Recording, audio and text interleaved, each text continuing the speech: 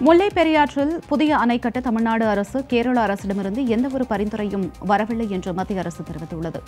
நாடாளுமன்றத்தில் முல்லை பெரியாறு அணை அருகே புதிய அணை கட்ட நிதி ஒப்புதல் அளிக்க மத்திய அரசு திட்டமிட்டுள்ளதா என்று கேரள எம்பி கேள்வி எழுப்பினார். அதற்கு பதிலளித்த மத்திய நீர்வளத்துறை இணையமைச்சர் ராஜ்பூஷன் சௌத்ரி முல்லை பெரியாறில் உள்ள இடத்தில் புதிய அணை கட்டுவதற்கு தமிழ்நாடு அல்லது கேரளா உள்ளிட்ட எந்தவொரு மாநிலத்தில் இருந்தும் பரிந்துரைகள் வரவில்லை என்று தெரிவித்தார்.